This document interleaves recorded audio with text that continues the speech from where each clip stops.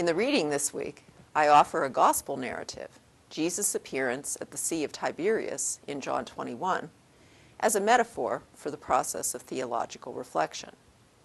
In the first unit, I had proposed some reasons for engaging in such processes the assumption of God's presence and activity in the world, the desire to cooperate with God's will in serving the kingdom of God, and the importance of our practices in cooperating faithfully and effectively.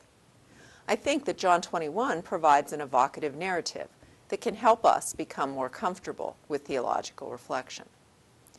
As you read, write in your learning journal, and discuss the assigned questions, I'd like to emphasize two important qualities for you to cultivate. First, openness to God's sometimes surprising presence and activity. The Holy Spirit moves where it will. John 21 is a story of unexpected events for the followers of Jesus. As we enter into our reflection on it, we may be surprised at our new thoughts, feelings, and questions. Second, imagination in our response to the narrative and to our own ministry. Theologian John R. Sachs comments, quote, It seems to me that the scriptures are not meant merely to teach us certain facts about God, the world, and Christian life.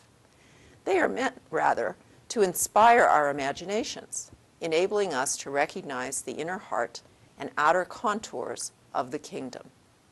The stories about Jesus, his words and deeds, permit the believer to develop a sensibility for the kingdom. This can enable us to imagine our lives in a much different way and help us to develop an ability to discern the presence of the Lord's Spirit in the ever changing circumstances of our present lives.